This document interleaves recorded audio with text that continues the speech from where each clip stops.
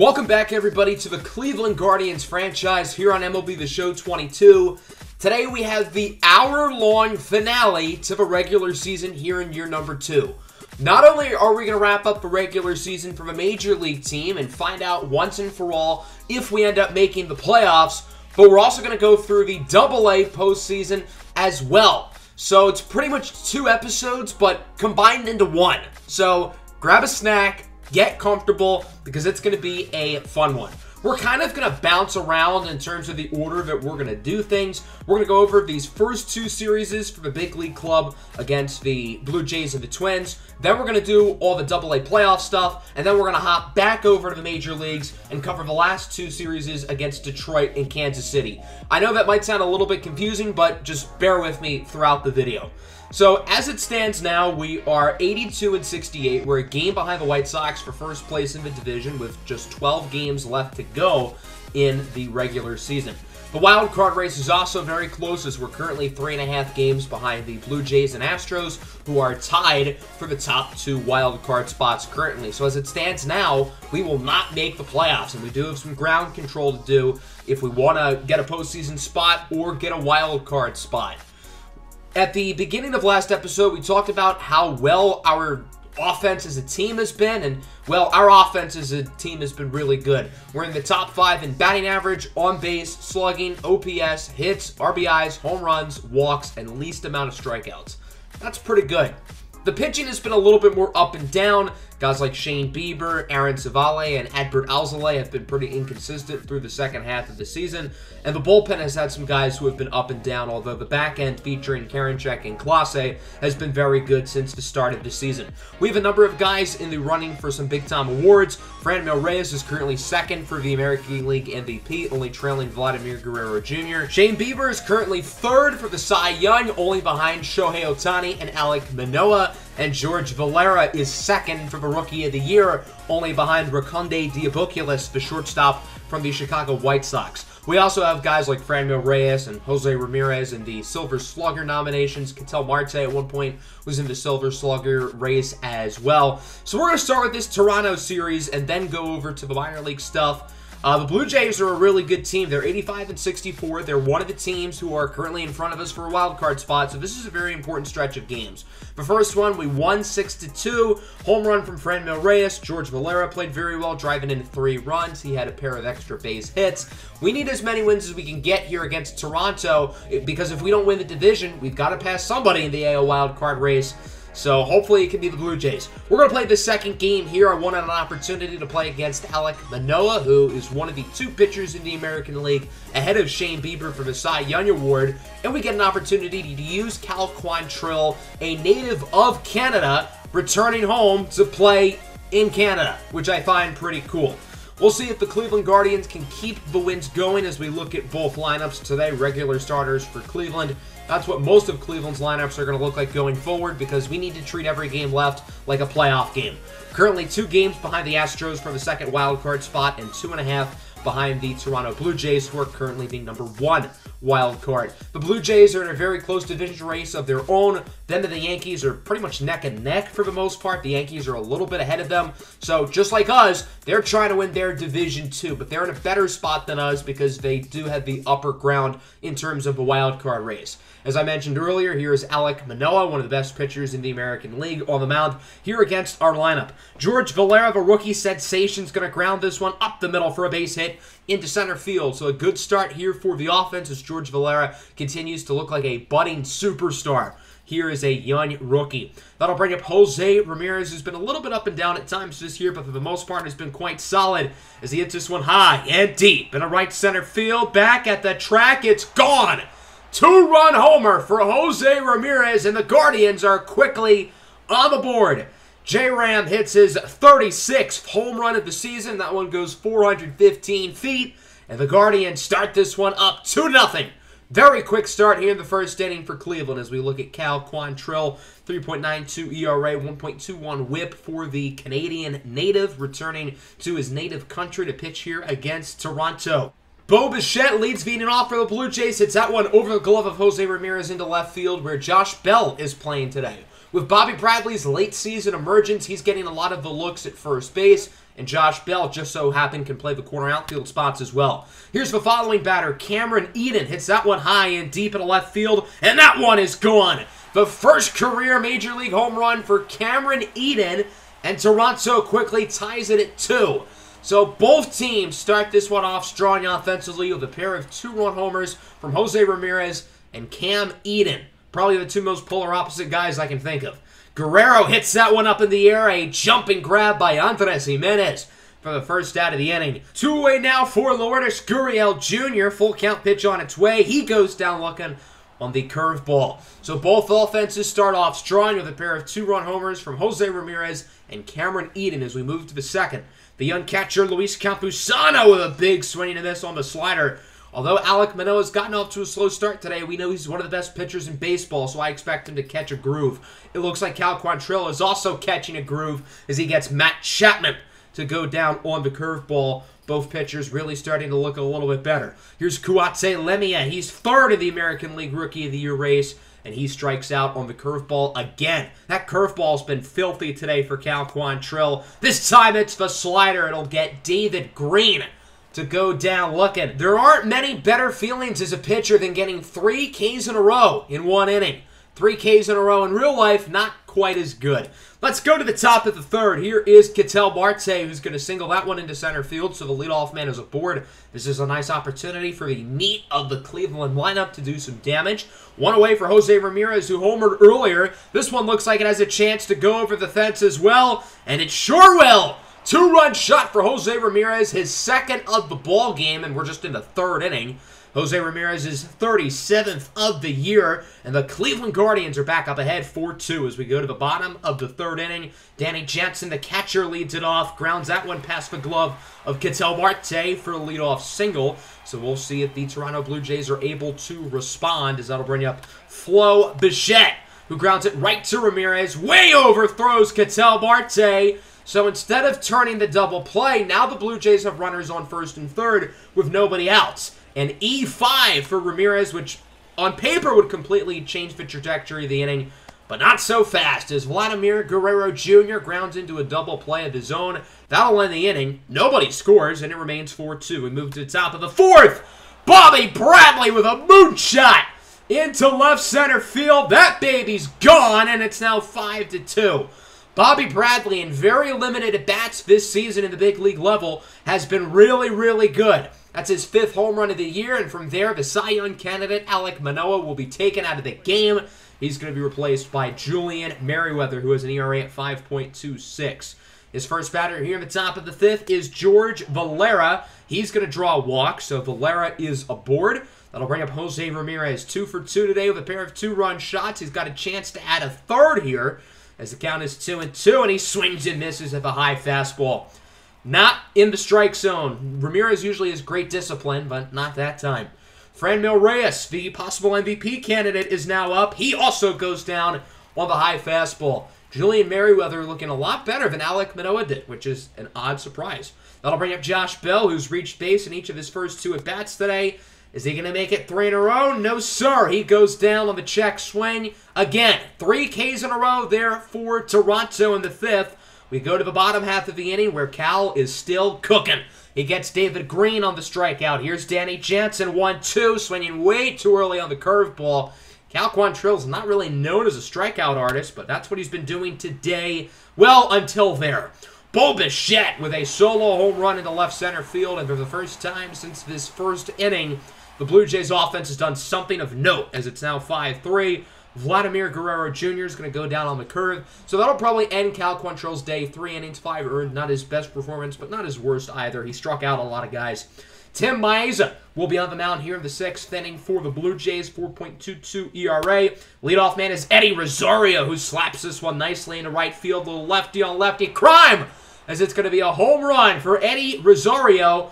And the Cleveland Guardians are back up by three. The big trade deadline acquisition from the Texas Rangers with his 21st home run of the season. And Cleveland is back up by three.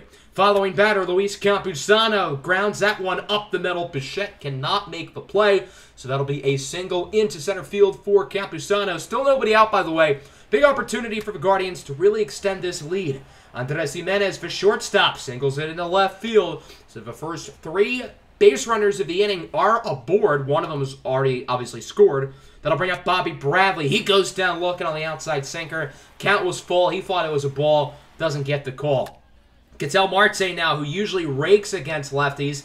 Not quite this time. He grounds into a double play. So Cleveland only scores one in that inning. It certainly feels like they could have gotten more as Keynan Middleton is on the mound here in the bottom of the sixth for the Guardians. He is a sub 3.7 ERA, and he'd get through the inning no problem, striking out Matt Chapman to finish it off.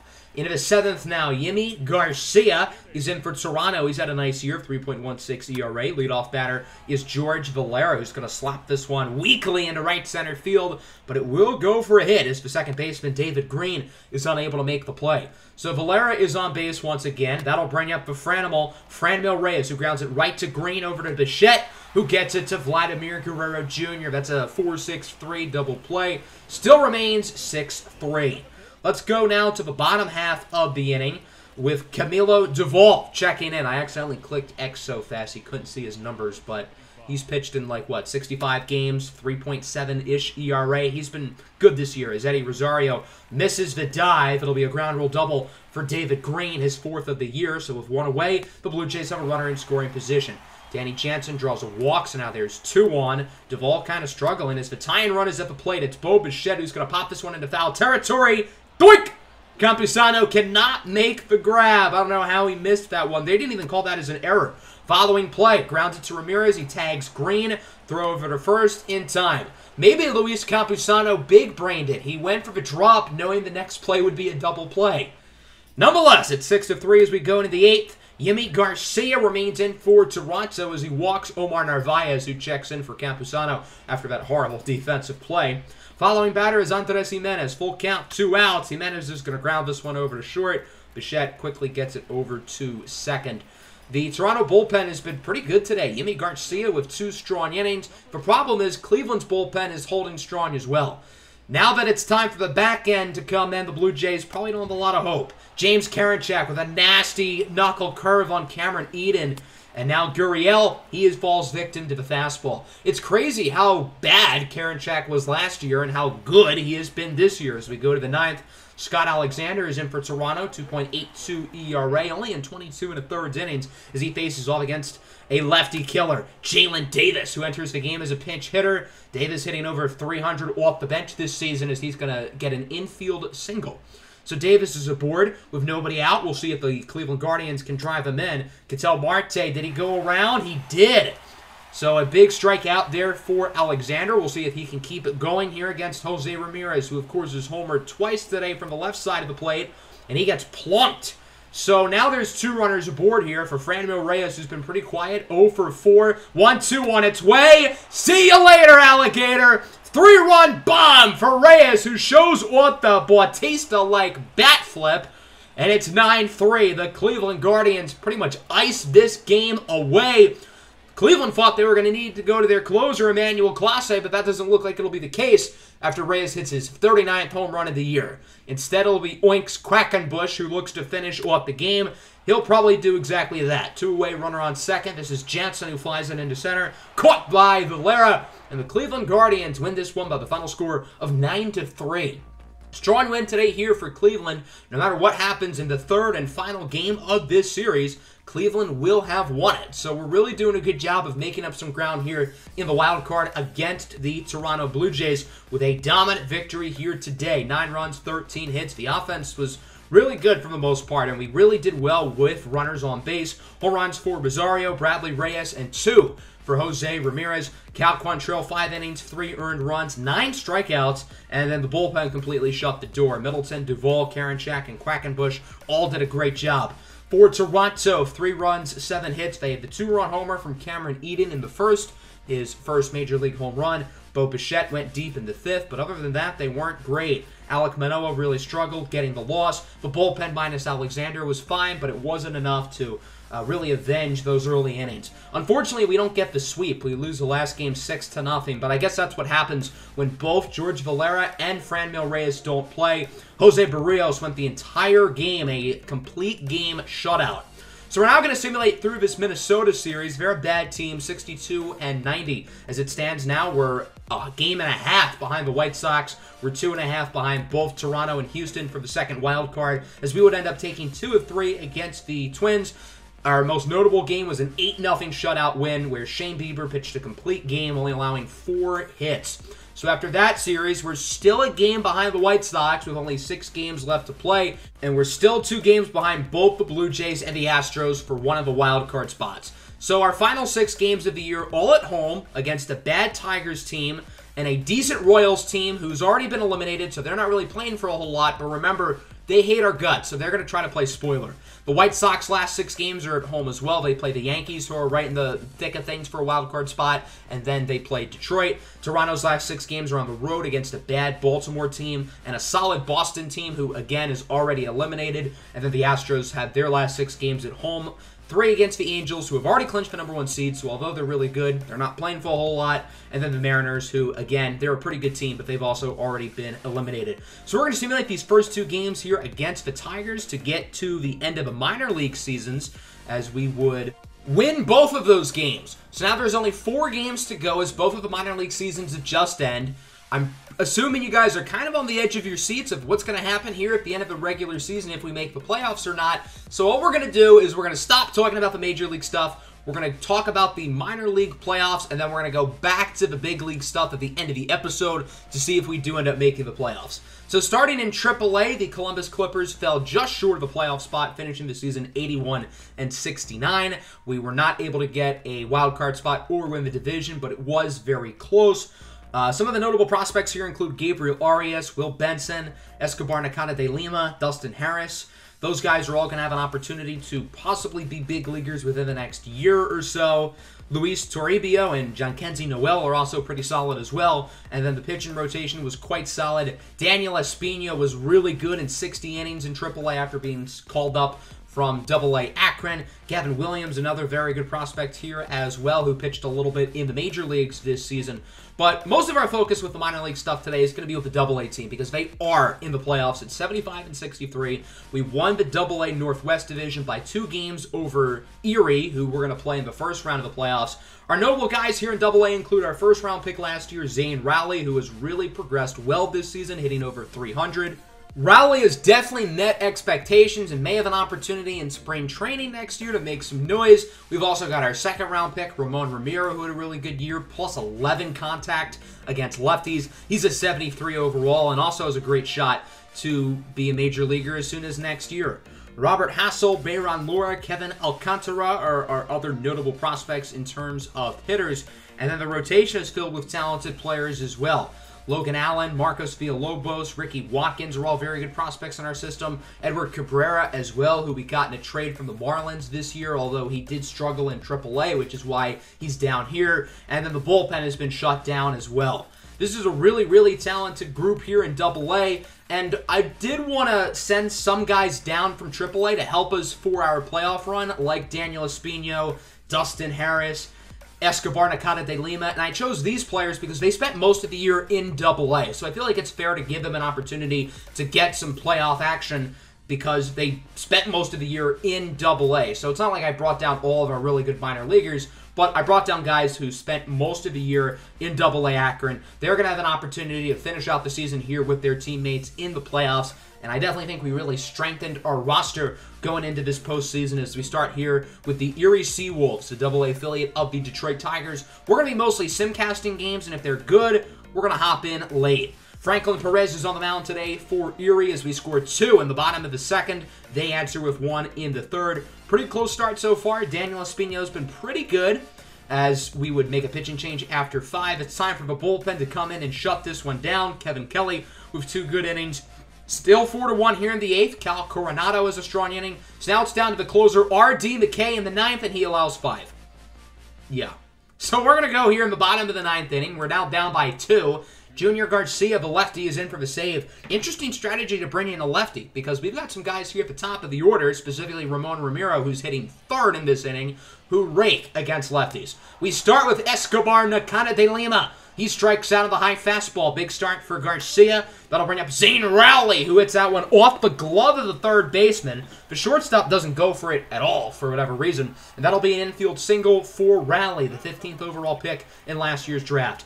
Now we've got Ramon Ramiro up. He's over 3, but again, he absolutely rakes against lefties. This one looks like it could go for extra bases. A double into the right field wall. Rowley's going to hold up at third. No reason to send him home with one out and still being down by two. So now there's a pair of runners in scoring position. A huge opportunity for Robert Hassell, acquired in a trade deadline deal with the Padres. He's going to single into left field. Zane Rowley scores, and it's now 6 to 5. Maybe we could have sent Ramon Ramiro. The throw was offline, but no real reason to risk it.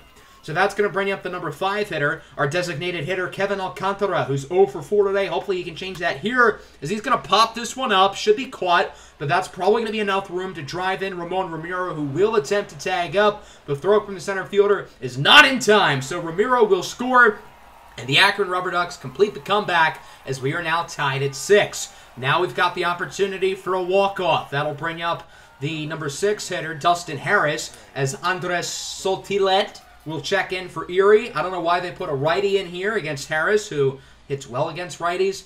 I guess that's the reason why Erie's managers are in Double A and not the majors, because their decision making isn't the smartest. Well, Dustin Harris would strike out, so it doesn't really matter. Game tied at six here as we go into the 10th inning. Andrew Majajek is in for the Akron Rubber Ducks. The minor league extra innings runners rule does apply in the minor league playoffs. So Erie opened up with a runner here in the top of the 10th at second base, and they're going to drive them in here with an RBI single. So the Erie Seawolves now lead this game by the score of 7 to 6. That'll bring up the following batter, Drew Romo, who's going to ground into a 3 6 3 double play. Good work from the infield, but Erie does lead 7 6 off of a potentially game winning single from Jared Young. Jose Tena leads off the bottom of the 10th here for the Rubber Ducks. He draws a walk, so he's at first. Dustin Harris, who's really fast for a first baseman with like 80 speed, is at second. Here's a pinch hitter, Jairo Pomares. He goes down on the changeup. Big strikeout there for the Seawolves, as that'll bring up the first baseman, Brandon Bossier. This one is high and deep and caught. Nearly a home run. That one was at the warning track as Harris, with his 81 speed correction, will tag up to third. So runners on the corners here, a huge opportunity for the leadoff man, Escobar Nakata de Lima, who's down to his final strike. One-two pitch on its way, and Nakata de Lima comes up clutch, splitting that one right between the pitcher's legs for a game-tying single. We are now knotted up at seven.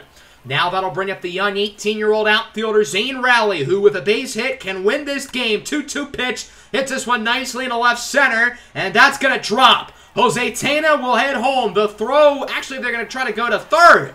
I don't know why they did that, but it doesn't matter. The Erie Seawolves fall victim to our Akron Rubber Ducks here in game one of the first round of the Double A playoffs, losing this one by the final score of 8 to 7. Quite the exciting game. As we go back to that ninth inning, you know how they scored five runs? It was not necessarily because of poor pitching. It was because of an error but it was on the pitcher, R.D. McKay. So he didn't allow any earned runs, but he's the reason why they all scored because of an error caused by him. I don't know. I found that kind of funny. So now we're going to hop into the second game here of the series. We've got Ricky Watkins, the lefty from Jamaica, who will be on the mound in this one. He'll face off against Nick Mears. Watkins missed a large chunk of the year with an injury, but when he was healthy, he was really, really good. I think he finished with an ERA at about 1.5. The offense scores three in the bottom of the first inning, aided by a home run from Kevin Alcantara. Now it's six to nothing. The offense is cruising. Ricky Watkins is dominating. I don't think we're going to need to hop into this game as it's now nine to one here in the ninth inning. We want Watkins to get the complete game. And that's what happens. Double play is going to finish it off. 9-1 is your final. A big win here for Akron with 17 hits. The offense was great, particularly Kevin Alcantara, who goes 4 for 5 of the home run, driving in 4. Rowley had a triple. Torrentino, Duran, and Bozier all drove in runs. And obviously, Ricky Watkins was great with a complete game. So I was excited to see what Edward Cabrera did here in this third game. But the game right beforehand automatically called him up to AAA, And since we're in the playoffs, I can't bring him down to double A, which is stupid. So I guess he's not going to be here for our playoff run again. Unfortunately, instead of him, it'll be Marcos Villalobos, who's very good in his own right. He faces off against Franklin Perez, who pitched in game one. So he pitched like two days ago, and clearly he looks like he's on two days rest, as Perez would really struggle to start this one off. Villalobos, on the other hand, is doing very well, as it's 4-1 here in the bottom of the eighth inning. No score since the third, but as I say that, we had two in the ninth. So it's now 6-1. Since this is an elimination game, I wanted to hop in and finish it off as we start with Adinso Reyes, who strikes out on the changeup. As you can see, Marcos Villalobos is going for the complete game. He's not even 90 pitches yet. He's done a good job of keeping the pitch count low. Here's Daniel Cabrera. Flies this one into right. Robert Hassell, the third, is under it for the second out of the inning. And the Erie Seawolves season comes down to this last out.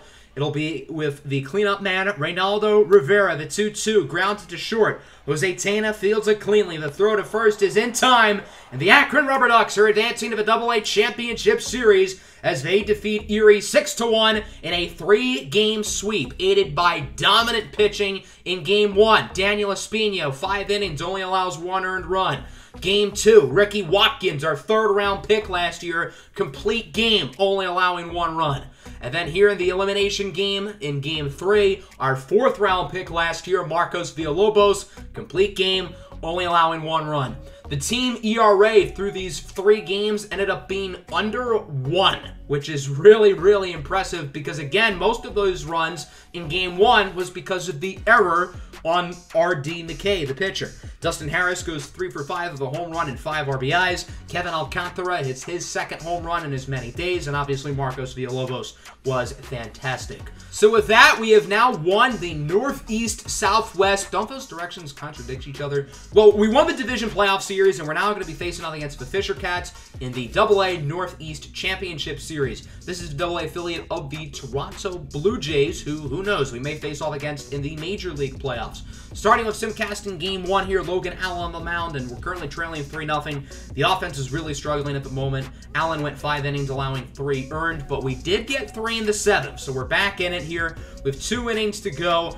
Uh, we're hoping the offense can do something here in the eighth. Not going to happen. So in the bottom of the eighth, Kevin Kelly looking to make through as he does allow a walk, but other than that, he does just fine. So we're going to go in the ninth inning, down by one, looking to make some noise here to come back here in game one of the series.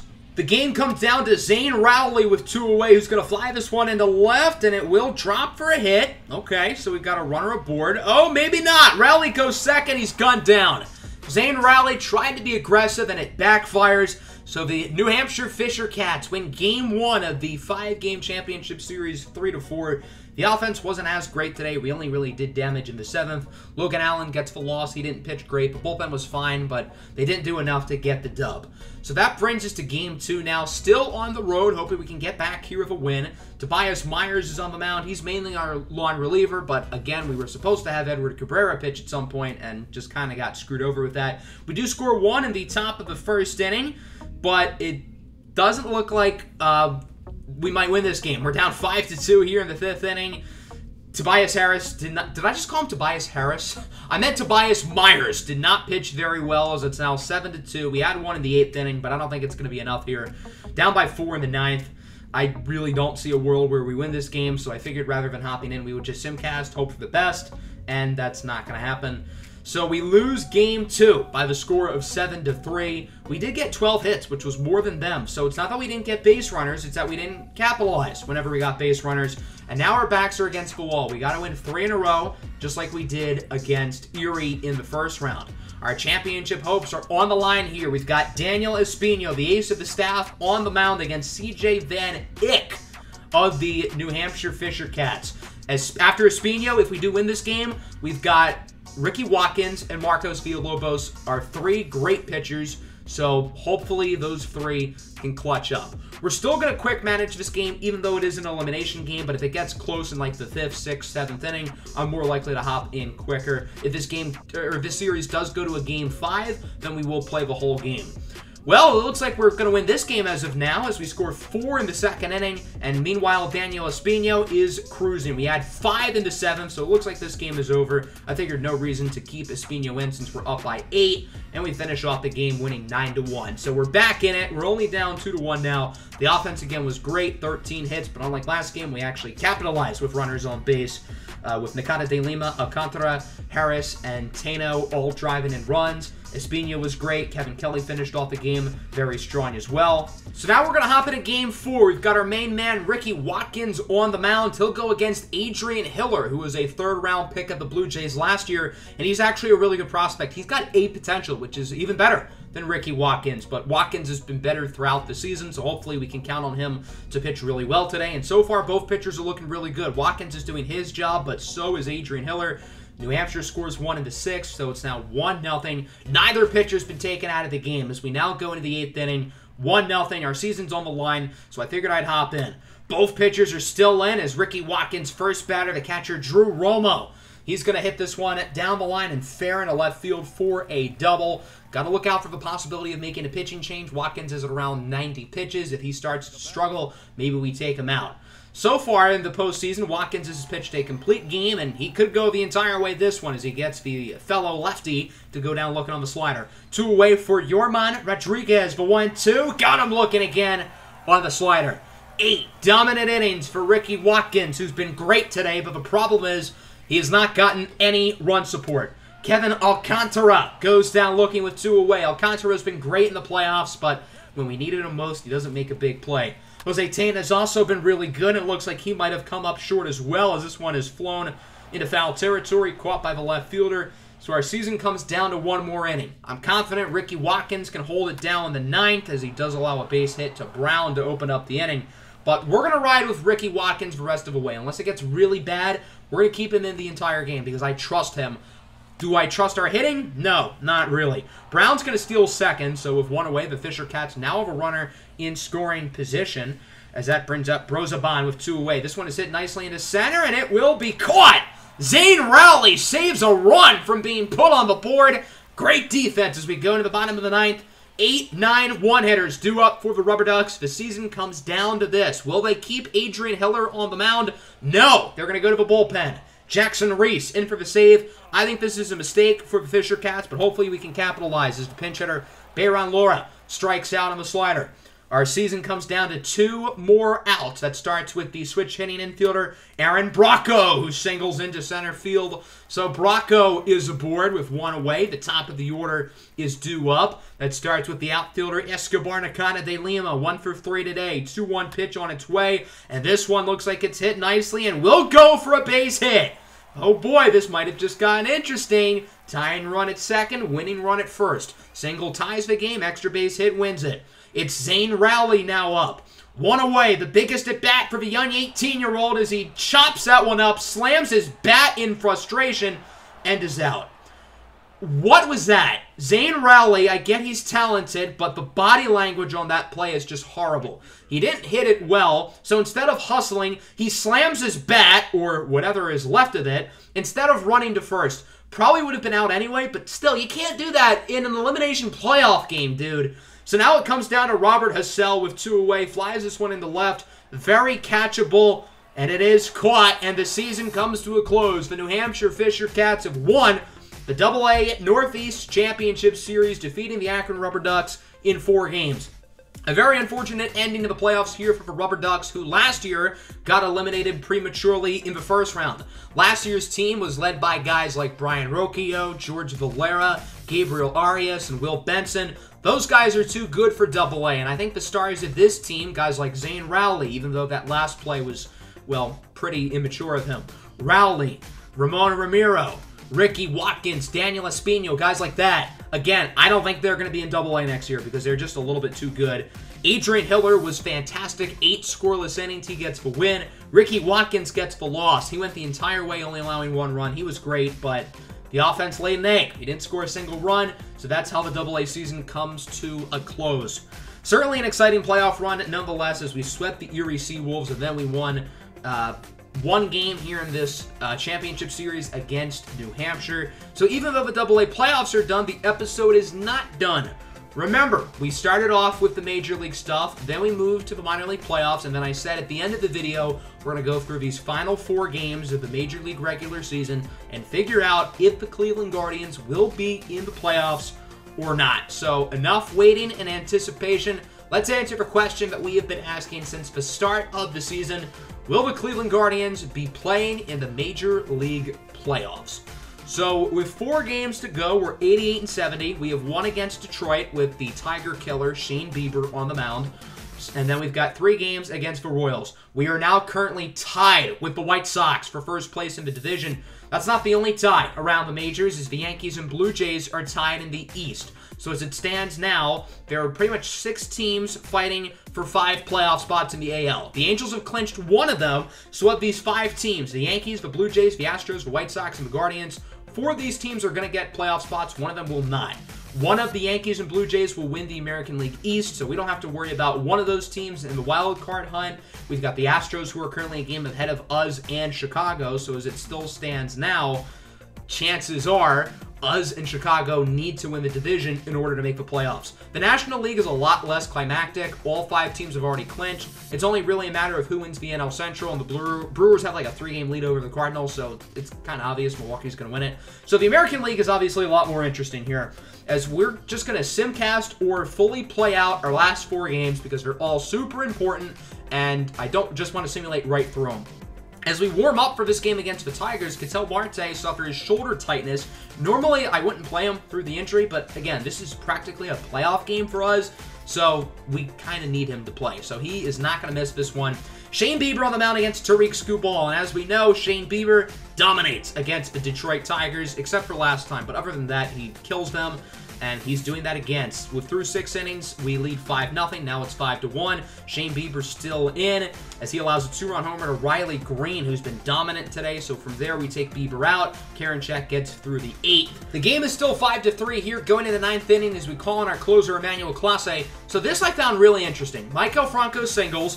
Victor Reyes bunts him over. Makes sense. The following batter, Bubba Thompson, would also bunt him. I get why you would do the one bunt, but why bunt him twice? Your odds of getting a run with a runner on third and two outs are a lot lower than one out and a runner on second. Now, I'm not complaining because we won the game because of it, but still, very odd decision making there by Detroit, whose offense really struggled today, minus Riley Greene, who drove in all three of their runs off of a pair of homers. Our offense was pretty solid. Five runs, nine hits, homers for Reyes and Valera. Shane Bieber was very good in his likely final start of the year. Seven and two-thirds innings, three earned runs, and the win. And the bullpen slammed the door as well. As for the other teams in the race for all of these American League playoff spots, the Yankees just won, but it's not a bad thing because they beat the White Sox. The Blue Jays lost to Baltimore. The Astros ended up doing pretty well against the Angels, winning that last game. And obviously, as I said, the White Sox lost. So with three more games and one more series left, we are now finally back in first place of the division, albeit only by one game over the Chicago White Sox, who have the series at home against Detroit. We have a three-game series at home against the Royals. The Royals are a little bit better than the Tigers. As for the wild card stuff, we are currently only one game behind the Astros for that second wild card spot at the moment. So we've got this first game here against Kansas City. Aaron Civale on the mound against Taylor Hearn. Again, since it's practically a playoff game, I'm going to simcast it, and if it's close, we're going to hop in and try to get the win. Civale's been a little bit inconsistent this year, but clearly he's been better than Taylor Hearn, He's got an ERA in the sixes. Ketel Marte is still not 100%, and I still don't care because, again, it's practically like a playoff game. Even though the Royals are already eliminated, I know they would love to play spoiler against us because, as you know from earlier in the year, these two teams do not like each other at all. The Royals put up two in the third, so they're leading early. Taylor Hearn's pitching very well until he would suffer an injury, so he'd have to be replaced by Carlos Hernandez, who's hopefully going to go a couple innings for them, or for our sake, hopefully doesn't go a couple innings. Still 2 to one here in the eighth inning. James Karinchak kept in. Since it's close, I figured I would hop in to try to get the win as Andrew Benintendi goes down to the low fastball. Good start there for Karinchak, getting the first out of the inning. That'll bring up the catcher, Salvador Perez. He goes down on the two-seam fastball. James Karinchak still one of the nastiest pitchers in all of baseball as he tries to go for the one-two-three, and he does, striking out Mitch Haniger on the fastball. Quick work there from James Karinchak as we move to the bottom of the eighth. We'll see if the offense can come up clutch here against Jake Brentz. 6.1 ERA in 25 appearances. He is a lefty. First batter, George Valera, hitless today, but he does draw a walk. So Valera is aboard. That'll bring up Josh Bell, who would be out. The following batter also out for Andres Gimenez. He goes down looking on the slider. So the offense doesn't really get anything going here in the eighth. Now into the ninth inning, we trail two to one. And Karinchak is still mowing down as he gets Bobby Witt to strike out on the off-speed pitch low and away. Ender Inciarte, who looks awfully a lot like Gru in his picture on the scoreboard, he will single that one into right field as Ketel Marte is unable to make the play. So Inciarte is aboard. That'll bring up the nine-hitter Charlie Culberson. Strikes out on the two-seamer. Five strikeouts for James Karinchak as he gets through the ninth pretty easily. And now we go to the bottom of the ninth.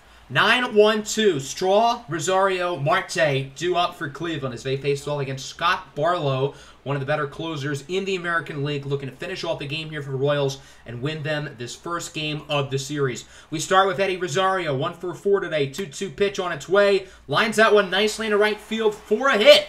So the Guardians have a man aboard with one away, and we'll see if they can capitalize. It's now Ketel Marte up to the plate. Count is two and one. Pitch on its way from Barlow. This one is a grounded to third. Double play possibility. To second for one. To first for the other. And the Kansas City Royals win game one of this final regular season series. Two to one.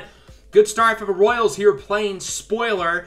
Our pitching was really good. Aaron Civale did quite well. The bullpen did their job. James Karinchak was a total beast, but the offense just didn't really produce. Andres Gimenez, the only one to drive in a run. He had a solo homer. Only extra base hit was a double from Straw. So with now two games left to go in the season, we're 89 and 71. Looking at some of the other teams that we need to follow along with, the New York Yankees lost to the Texas Rangers. That's good news. The Blue Jays beat Boston, so they are now tied with the Yankees. The Astros beat Seattle. As for the Chicago White Sox, they ended up losing. So we're still a game ahead of them. As we look at the American League wild card, you may notice that the Yankees, Blue Jays, and Astros have all clinched playoff spots. So that means that we're not going to get a wild card spot. So of the four playoff spots that were up for grabs, three of them have been clinched by the Yankees, the Blue Jays, and the Astros. So that means the last playoff spot will be the winner of the AL Central between us and the White Sox, and whoever does not win the AL Central is eliminated.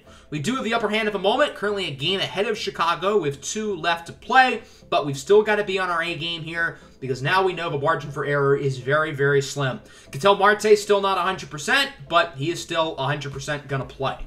Cal Quantrill on the mound for us today. He will be opposed by Caleb Killian of the Royals. We would get an early RBI double from Jose Ramirez. The Royals would score two in the second. We had one in the bottom half of the inning, so the game is tied at two after the hot start from the offenses. Both would be quiet for a little while until the fifth, in which we scored four. So we now lead six to three. Now it's only within one as they add two in the seventh. So we go into the eighth inning. In game one of this series, we were down by one in the eighth. Now we're up by one. So we're going to hop in here, starting off with Mitch Haniger, who will single this one into center field. So the Royals open up the inning with an early base runner. We'll see if the Royals are going to be able to drive him in and look to tie the game as Haniger will be replaced by pinch runner Bobby Witt Jr. Gio Urshela is now up. Witt looking for second. The throw from Campusano is not in time. So it's a stolen base for Bobby Witt. And with nobody out, the Royals have a runner in scoring position. Witt would advance to third. That brings up the next batter, Isaac Benitez, who hits a bomb into right field, and the Royals lead him 7-6. I'm pretty sure the last time we played Kansas City, I called Isaac Benitez the Cleveland Killer. Benitez has not had a very good season this year, but whenever he plays us, he dominates. Jose Alvarez quickly taken out of the game. He'll be replaced by Camilo Doval, who looks to get out of this inning unscathed, with Cleveland now trailing. Edward Olivares, his first batter, singles into center, so not a good start. The Royals have a 91 speed base runner aboard and another great opportunity to score. Adalberto Mondesi rips that one down the left field line for extra bases. The runner at third, he's going to round, head home. The throw from the cutoff man, Ramirez, is not in time. It's an RBI double for Adalberto Mondesi. It's now 8-6. Mondesi's no slouch on the base pass as well. He is 90 speed, so Doval's got to get out of this jam as he strikes out Kyle Isbel for the second out. And then Nicky Lopez, 1-2, goes down on the slider. A big eighth inning for the Kansas City Royals as they score three. And now lead this game 8 to 6 as we go into the bottom of the eighth inning. Hopefully, the offense can come up clutch as it's going to be Josh Staumont in relief for the Royals. 5.19 ERA in 36 appearances. His opening batter for shortstop Andres Gimenez, who's going to draw a walk. So Gimenez is aboard. The tie and run is up to the plate. It's the top of the order. Starting with Ketel Marte, he would be out. The following batter would also be out, Valera. And then with two away, Ramirez is going to pop this one up to the catcher, and it will be caught by Salvador Perez. So we now go into the ninth inning with the Cleveland Guardians trailing 8 to 6. Keynan Middleton will come into the game here for Cleveland, looking to not add to this Kansas City lead because that wouldn't be good. Bronson Kluterman, the leadoff man, will single into right field, so the Royals quickly have a runner aboard. We'll see if they can do some damage, extend this lead further, as that'll bring up Gio Urshela with two away. Count is full, strikes out. Good inning for Keynan Middleton. He allows the early base hit, but nothing happens after that. We go to the bottom of the ninth inning now, 4 5 6. Reyes, Bradley, Rosario. Hopefully, Cleveland can score at least two, look to tie or take the win. As the Royals go back to Scott Barlow, looking for save number 43. With one away, it's Bobby Bradley, who is still hitting the ball at a very high level. OPS above a 1,000 in just over 70 at bats as he will check his swing on the fastball. Two gone now. The game comes down to the bat of Eddie Rosario, who's been good today. Three for four. 3 1 pitch. Outside slider for ball four. So Rosario draws a walk. The and run is at the plate. It's Josh Bell, who is one for one. He's drawn a ton of walks today, which is very typical of Josh Bell. 1 1 pitch on its way. He pops it up to short, and it will be caught by Nicky Lopez. And the Kansas City Royals are doing a darn good job of playing spoiler. They win the first two games of the series, taking this one home 8 to 6. We had this game won. We were up big early, but the Royals scored the final five runs of the day. Two in the seventh, three in the eighth we just choked. That that's what happened. The bullpen choked. Cal Quantrill didn't have his best day, but he's not the reason why we lost. And the offense was pretty good. Homer for Eddie Rosario, six runs, 11 hits. I thought the offense did a pretty good job, but Weathers and Alvarez and to an extent Doval all kind of blew it for us. So that brings us to the final game of the regular season. The White Sox just beat Detroit, so now we are tied in the American League Centrals. Ketel Marte is fully healthy. We're not going to check on the other teams because they don't matter to us anymore. It's us and the White Sox at the top of this division to get a playoff spot. So with both teams tied and one game to go, this is what the situation looks like. If we win today and the White Sox lose, we win, they're out. If we lose and they win, we're out, they're in. If both Cleveland and Chicago win, or both Cleveland and Chicago lose, there will be a final regular season game between Cleveland and Chicago to determine who wins the division. After this game, we will simcast the White Sox and Tigers game to add to the suspense. We're doing this game first. Triston McKenzie on the bump for Cleveland. He's been one of our most consistent players through the season, which is why I really wanted to make it a point to have him scheduled for this game in case we really needed him. And obviously, we really need him to come through. So hopefully he can against a talented Kansas City lineup who's looking to end the year off on a sweep. We start with Isaac Benitez, who grounds it to third. Ramirez is unable to quite make the play, so it's an infield single for the Cleveland Killer. Benitez opens this one on base. Andrew Benintendi now up as Benitez heads for second, and that's a double play to end the inning. That was not Benitez who stole second, actually. That was Bronson Kluterman who reached base off of the fielder's choice. So Benitez strikes out, and then Kluterman is gunned down by Luis Campusano.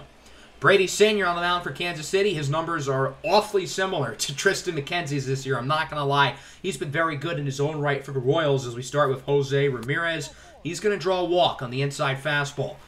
These guys know how important this game is. Without a doubt, the most important game in this entire franchise series yet. We don't necessarily have to win to be in, but in order to control our own fate, we got to win.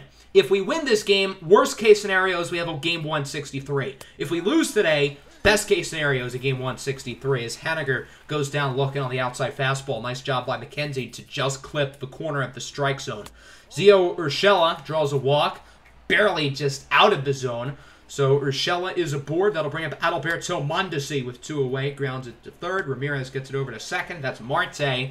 So far, so good for Triston McKenzie. He's not looking too bad, only allowing one hit and one walk. The pitch count is fairly low. He's doing a really good job so far. But the problem is Brady Singer is also doing a good job as he gets Bobby Bradley to go down looking on the outside slider. His second K of the day, two away now for Eddie Rosario, a 1-2. He goes down chasing on the circle change. Cleveland's lineup is some of the best discipline in baseball. I don't know why Rosario was chasing there. Still scoreless through two. Not a lot of offense up to this point as we go to the third. MJ Melendez, one of the top prospects in the Royals organization at catcher, goes down on the changeup. Charlie Culberson now up. He's going to fly this one into right field. Reyes will not make the diving play. Culberson rounds first, headed to second. The throw from Reyes is in. Oh, it's safe! It really looked like they were going to gun him down. Reyes does a good job of quickly getting up and making the throw. I want to take another look here because in real time, it kind of looked like Culberson was out. It's very, very close. That wasn't a good angle. This also not a good angle because the umpire is in the way. So let's get a better close-up view to see if Culberson was safe. And as he's sliding in here, yeah, they did make the right call. He was safe. So Culberson is in scoring position with two away for the Cleveland killer, Isaac Benitez, and he strikes out. Big K for Triston McKenzie. Bronson Kluterman now up. Flies this one into left. Should be caught by Rosario, and it will. Three scoreless innings for Triston McKenzie. He is doing his part so far in the biggest major league start of his career. Still scoreless here in the bottom of the third. Which team will drive in runs first? Campusano leads off the inning for Cleveland. He nearly gets plunked.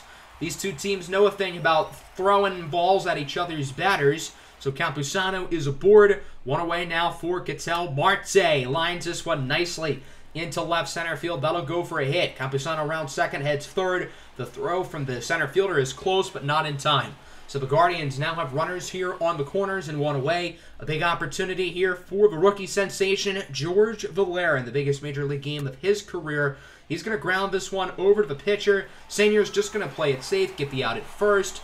The runner, Campusano, does score from third, so the Cleveland Guardians are on the board. They lead 1-0. Jose Ramirez strikes out on the fastball, so that'll wrap up the third. Finally, Cleveland is on the board. They lead this one 1-0 through 3. We'll see if either team can start to break away here offensively towards the middle of this game. Benintendi leads feeding off for the Royals, and he is out. Nice job by Andres Gimenez to quickly get over to it and fire the throw over to first base. Mitch Haniger goes down looking on the fastball again. Triston McKenzie continuing to pitch very, very well. His fifth strikeout of the game. Following batter, Gio Urshela. He's going to weakly hit this one into right. It will go for a base hit. Both teams are doing a decent job of getting base runners. They're just having trouble, specifically Kansas City, of driving them in as Olivares strikes out. So that'll end the fourth inning. Four scoreless for Triston McKenzie. He is pitching very well right now. We're going to go into the bottom of the fourth. We'll see if the Cleveland Guardians can extend the lead as Reyes leads it off. 3-1 pitch, gets a circle change right in the middle of the zone, and he's going to capitalize. That's a home run. Solo shot into right field for Reyes, the possible American League MVP with his 42nd of the year, and the Cleveland Guardians now lead this game 2-0. Following batter, Bobby Bradley checks his swing on the fastball. Bradley is retired, his second time being stricken out today, Singer with his sixth. Following batter, Josh Bell with a mammoth shot into right center field. I don't think this one stays in the ballpark. It will not. Solo home run for Josh Bell, and the Cleveland offense is figuring it out. Bell with his 27th home run of the season. Bell and Reyes both go deep here in the bottom of the fourth, and so the Guardians lead 3-0. Still only one out. They're looking for more. Eddie Rosario draws a walk. So Rosario is now aboard. Singer starting to struggle. Look at his pitch count. It's at 83. Andres Gimenez watches that one sail by. Dropped by Melendez. Rosario advances to second off of the passed ball. So the count is full here for Gimenez. Run scores a run, or obviously run scores a run. I meant to say a single scores a run, but he meant Gimenez draws a walk instead. So now there's two runners on here, two outs, and Singer is taken out of the game. He'll be replaced by Carlos Hernandez, the long reliever for the Royals with a 5.47 ERA as he faces off against Ketel Marte, who flies this one into deep center, but it will be caught for the final out of the inning. Still a good one for the Guardians. They score two. Pair of solo home runs from Franmil Reyes and Josh Bell. We move to the fifth. Triston McKenzie still doing very well as Melendez barely puts any contact on the ball. Good job by Campusano to quickly get over to it for the second out of the inning. That'll bring up Charlie Culbers, and he hit the double earlier. Flies this one weakly into right, and it will be caught by Franmil Reyes. Five scoreless innings for Triston McKenzie. The Guardians are looking good at the moment. Hopefully they can keep it going here as we go into the bottom of the fifth. George Valera leads inning off with a bomb in a right field, places the bat down. The star rookie with his 18th home run of the year. And the Cleveland Guardians now lead 4 0. Solo home runs from Reyes, Bell, and Valera. And the Guardians are looking good, but they're not done. Jose Ramirez, that one just shy of a homer, stays in the ballpark. It looks like it will go for a double, and with still nobody out, Cleveland has a great opportunity to do some more damage. Ramirez with his 40th double of the year. Franmil Reyes is now up. He hit the home run earlier.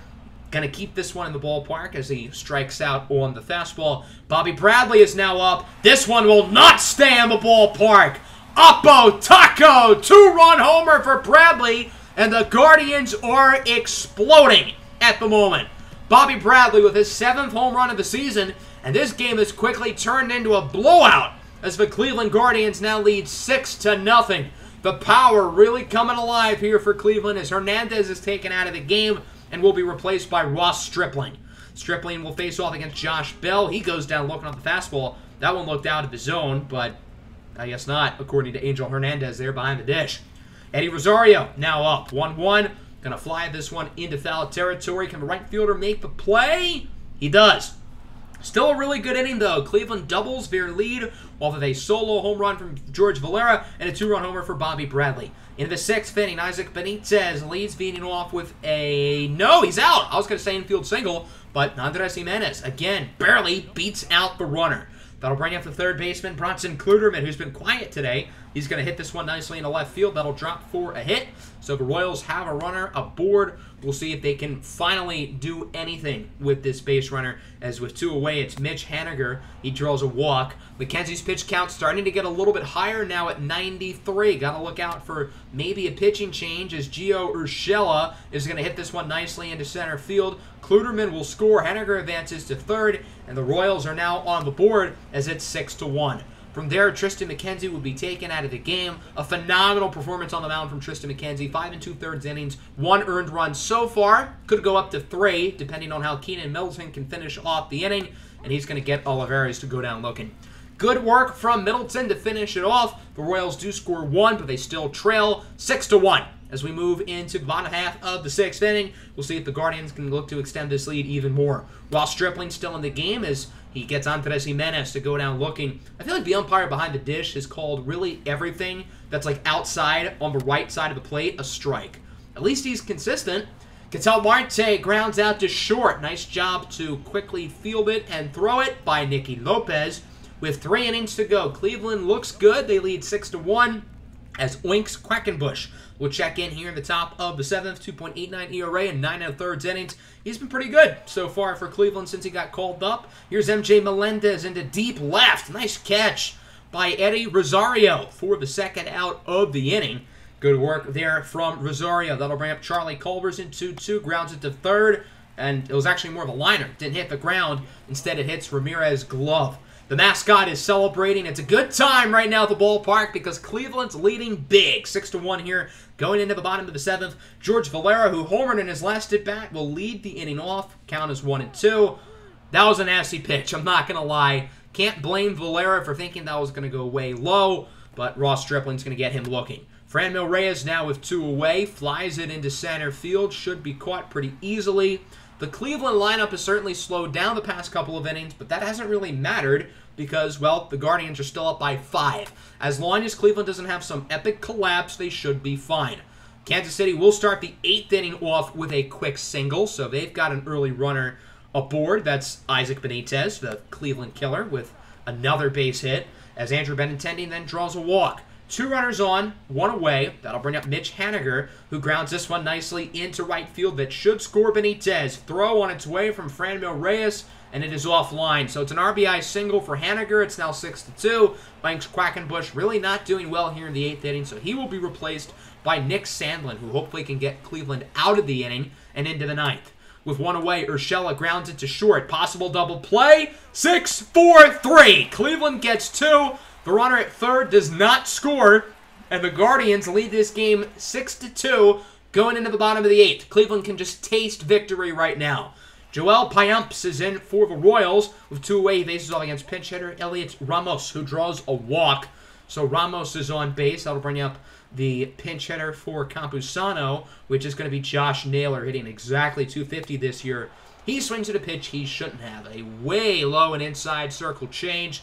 So Naylor is out, frustrated with himself, and we're now going to go into the ninth inning where Cleveland's going to look to finish off the game. It's a four-run game, so it's not a save opportunity, but we don't want to mess around. We want our best pitcher to finish off this game. That's Emmanuel Clase. Edward Olivares leads feeding off, grounding out to third, and Cleveland is two outs away from maybe winning the division. Alberto Mondesi grounds to second, Marte over to Bell, and now Cleveland is one out away from getting the victory. The game comes down to the bat of MJ Melendez, who lines it into right, caught by Reyes. In the regular season, well, the first 162 games of a regular season is over as Cleveland wins at 6 to 2 and their record is now 90 and 72. So the worst case scenario is that we're going to have a game 163 against the White Sox, which if that does happen, that would be in the next episode. In order for a game 163 to happen, the White Sox have to beat Detroit. If the White Sox lose to Detroit, then we win the division outright. We're in the playoffs. They're not. It's that simple. We played well today, six runs, six hits. The offense really did nothing once uh, we went on our little run. The last like three innings, we didn't hit the ball well at all, but that didn't really matter because when guys got on base, we capitalized. We went deep four times in this game. Reyes, Bell, and Valera had solo homers. Bobby Bradley had a two-run shot. Triston McKenzie pitched very well. The bullpen pitched very well too. So now we get to Chicago's final game. Dylan Cease on the mound for them against Casey Mize for Detroit. We have to user somebody for quick manage, so since we want the Tigers to win, we're going to user them and make their decisions for them. I edited their lineup to how I thought they would be best suited to win the game here against the White Sox. The Tigers scored five in the third inning. They lead this one 5 0 off a pair of home runs from Riley Greene and Spencer Torkelson. They add another one in the sixth. Yeah, this is looking way too easy. Bottom of the ninth, Casey Mize going for the complete game, and he gets it! The Tigers beat the White Sox 6 to nothing. All of Detroit's top draft picks came up clutch today. Spencer Torkelson, Riley Greene, and Casey Mize all played fantastic. So with the White Sox losing and us winning, you know what that means. The Cleveland Guardians have clinched the American League Central and will be in the postseason. It came down to the final game of the season, but we win the Central, and we're going to play against the AL East champion Toronto Blue Jays in the ALDS. The Blue Jays did not lead the Central for most of the year, but they got by the Yankees late. So the Yankees at 91 and 71 will be one of the wild card teams. They will play against the Houston Astros. The winner of that game will face off against the number one seeded Los Angeles Angels. The Blue Jays are the two seed since they won 92 games. We're the three seed since we won 90 games. So Toronto has home field advantage with us. The National League, as expected, the Brewers did end up winning the NL Central. And as I said, the National League ending was a lot less exciting and climactic compared to the end of the American League season. Here's a look at our team's statistics. We currently have 28 guys on the active roster for the playoffs. We have to cut it down to 26. So we got to figure out two guys we want to send down to AAA. We cannot send down Ryan Bliss because he's a Rule 5 draft pick. Everybody else is fair game. So we've got to figure out uh, who are the two players who are least likely to contribute. And from there, we're going to send those guys down to AAA. These are all of the stats for the regular season. Sure enough, we did take home some awards. Shane Bieber wins the Cy Young, and Franmil Reyes wins the American League MVP. So the two biggest awards in baseball, the MVP and the Cy Young, go to players on our team. Franmil Reyes, our designated hitter, finished the year with 42 home runs, 127 RBIs with a slash line of 276, 354, 546 for an OPS of 900. You don't normally see DHs win MVP, but I'm not complaining, even though I would argue somebody who played defense maybe should have gotten it over him. Shane Bieber wins his second career Cy Young. He won one in the shortened 2020 season. You could argue there's an asterisk since he only started 12 games, but this year he started the entire year and was damn good. 3.02 ERA, 1.14 whip, 213 strikeouts. Phenomenal season from him. Here are the other awards. Uh, no Emmanuel Clase in the top three for the reliever of the year. That's kind of disrespectful. George Valera does finish second for rookie of the year. Had he played the entire season in the majors, he would have won that pretty easily. He also I would venture out to say would have been an MVP candidate. Valera played half the year. If you multiply his numbers by two, he's in the MVP running. We did not have anybody win a gold glove. We did have some silver sluggers. Franmil Reyes won it for designated hitter. Jose Ramirez won it for third base. So we take home four awards, a pair of silver sluggers, the American League MVP with Franmil Reyes, and the American League Cy Young with Shane Bieber. These awards are nice. They help out individual legacies, but they don't matter in the grand scheme of things because next episode we're playing playoff baseball for the first time in this series against the American League East champion Toronto Blue Jays. We played them earlier today, so we know these guys quite well. They're a really talented group. They've got a great lineup. Their pitching rotation is very top heavy. They have three ace caliber guys at the top with Alek Manoah, Jose Berrios, and Kevin Gausman. But after that, it's a big drop off with Joey Murray, who did not have a good season this year, and Nate Pearson, who did not pitch at all in the big leagues. I'm not really sure why they're going with him, but I'm not complaining. Those three guys at the top, though, are quite intimidating. I'm not going to lie. So that's going to wrap up the episode. An hour plus ending of a regular season finishes out with the Double A team unfortunately losing in the championship, but the Cleveland Guardians making up for it, winning the AL Central and playing in the ALDS against the Toronto Blue Jays. Next episode, we're going to kick off the playoffs. I cannot wait. Should be a ton of fun. Make sure to like button and subscribe. This was obviously a long video to put together. It was pretty much two videos in one, so I hope you really enjoyed it because I had a lot of fun doing it. Peace out.